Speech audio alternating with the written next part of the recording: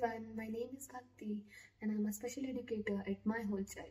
Today I'm going to share an activity which will help your child to identifying and recognizing letters in a very fun way.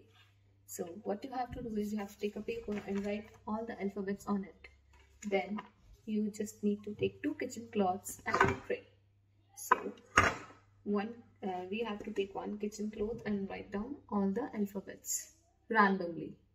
Then take another kitchen cloth and hide the first one with that.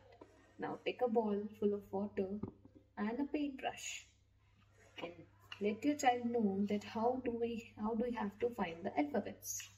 Now dip the paintbrush in the water and try to find out the alphabets.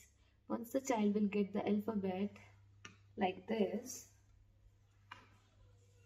then he just need to cross the alphabet mentioned on this paper. Just like we just got Q. So we are going to cross the Q here.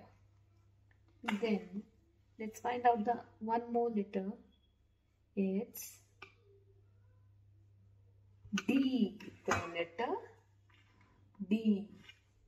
So just need to cross the D